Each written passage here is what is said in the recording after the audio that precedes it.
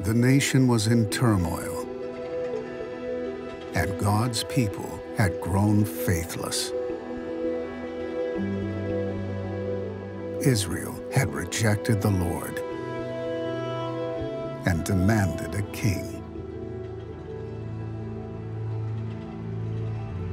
A man was chosen, a head and shoulders above his brothers.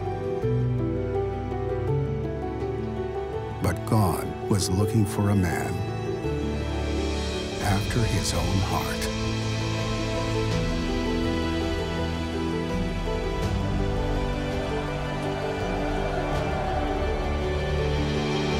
Searching for a king.